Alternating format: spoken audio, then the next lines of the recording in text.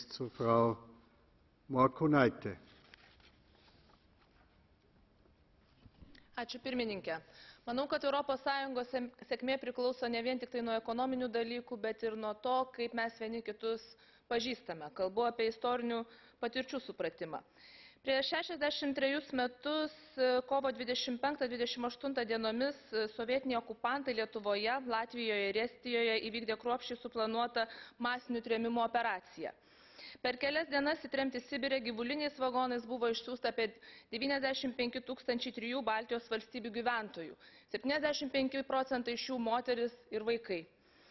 Tuo metu 49 metais, kuomet Europa tiesėsi nuo antrojo pasaulinio karo padarytų žaizdų, statė naują savo gyvenimą, kitoje Europos dalyje vyko žiaurumai, masiniai tremimai, persekiojimai ir įkalinimai. Šitai buvo siekiama sunaikinti tuos žmonės, kurie buvo e, drąsūs pakankamai, kad kovoti prieš teroro e, sistemą, kuri buvo Sovietų sąjunga.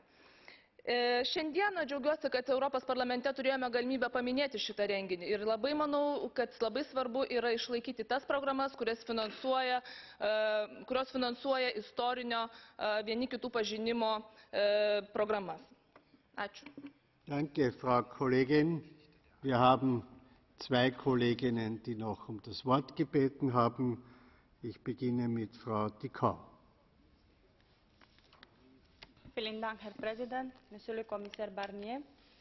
Punerea în aplicare a strategiei economice a Uniunii Europene necesită luarea unor măsuri hotărâte de stimulare a creșterii